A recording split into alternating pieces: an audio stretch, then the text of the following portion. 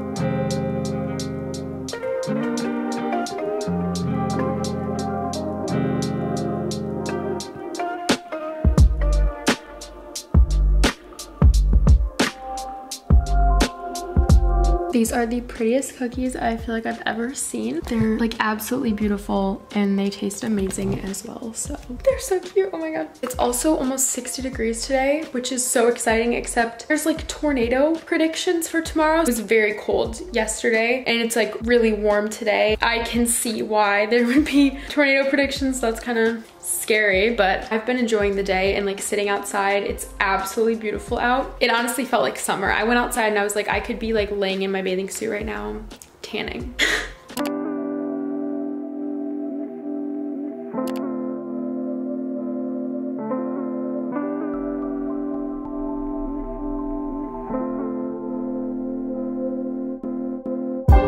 little bit later in the day now. I'm about to have some time where I just chill in my room. Honestly, some days I'm just like working or I'm doing things on my computer super late at night to where I don't carve out time at night to let myself decompress. Something I did when I was away at school was no matter where I was in my work or homework or whatever, I would stop at nine o'clock and from like nine to 10, I would take a shower, I would journal, I would dry brush, I would do skincare, I would read and go to bed at 10. And it was like the best thing ever because every single night I just had that time to like let myself chill, decompress. It was so important to have that. But lately I feel like I haven't necessarily been doing that. Like I work or I'm doing stuff right up until like 10 o'clock where I kind of want to start getting ready for bed. And not having that separation makes things more difficult. And I feel like it just doesn't let me have, I don't know, like enough me time. So I'm gonna do that tonight. I made a cup of tea as I always do. I've just been loving this tea and I've been drinking like four cups a day of it.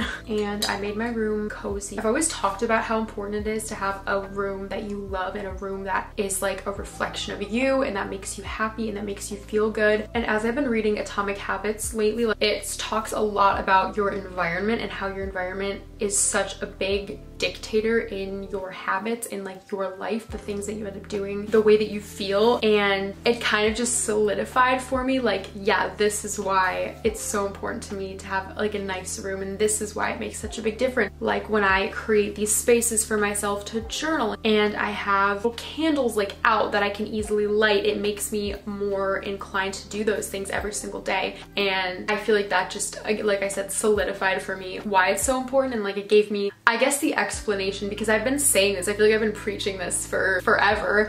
I remember even when I was gonna move in to like my first apartment and stuff and I was planning out everything, even though I was like only gonna be there for a semester. And then some people would say like, you're kind of going a little crazy with this. Like it's just your college apartment. It's not that big of a deal. It's not like you're permanently living there. And I was just planning out everything where I was gonna put everything, like how I was gonna decorate it. And yeah, they would say like, this is a little extra. I don't think it is. I really don't think it is. And I'm glad that I did that because I was there every single day for six months or whatever, you know, like it, even though it's a temporary thing, it was a big part of my life and I was spending every single day there and it has a huge impact on you and the way that you live your life. That's why I love having a cute room that I love and that's why it's so important and not just like for funsies, but like it has a good reason and a good impact on your life. And the next thing I want to do is journal. I know I talk about it all the time. I want to do some shadow work journal prompts because I feel like this video it's kind of about reconnecting with myself, like healing, getting out of a slump, that sort of thing. If you don't really know what shadow work is, it's kind of just like digging up old things and like working through them. So like this is shadow work journal prompts for healing. What made me start doubting myself as a kid? What aspects of my life do I project onto others in an unhealthy way? What is something my younger self would be surprised about now? Who hurt me the most and can I forgive them? So it's doing like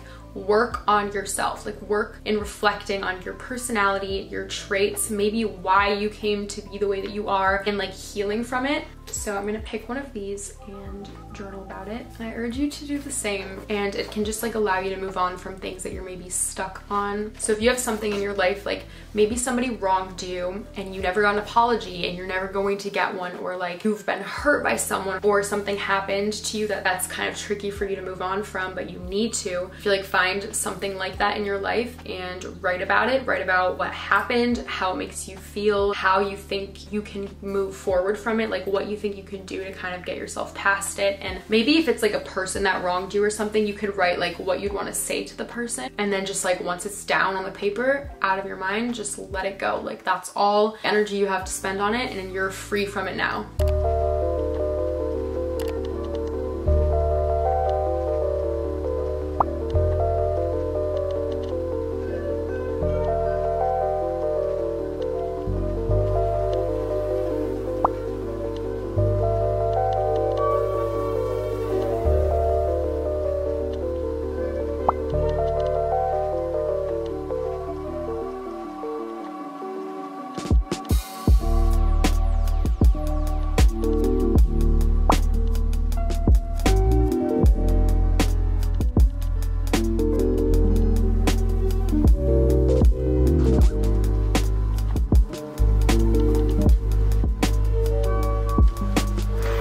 Just like uses a part of my brain that is not normally being triggered. And my forearm hurts from pressing down the strings. The last thing I want to do to kind of get myself on track and have a productive day tomorrow is make a to-do list because they always make me so much more productive. I honestly also love making to-do lists at night because that way I can kind of go to sleep without having the burden and the mental load of having to remember all the things I need to do tomorrow. And also when I wake up in the morning, I'm not immediately like, oh my god, I need to do this, this, this. I already have it written down. I know I'm gonna be like good. I have it planned out and it just makes me feel so much better. It makes the day smoother. I already wrote out what I need to do, but I need to edit a YouTube video and also post a YouTube video. I also want to edit and post a TikTok. I've been trying to post on TikTok more. I need to cook and do my meal prep for the week. And I also need to take a shower and wash my hair. It's gonna be a busy day. I have like a lot going on this week. I'm meeting with a CPA, like an accountant to help me with my tax stuff. I've always just done my taxes myself, but this year it's a little bit more complicated for me. So I'm meeting with a tax person and I have a lot to do to prepare for it and I'm really not looking forward to it, but I need to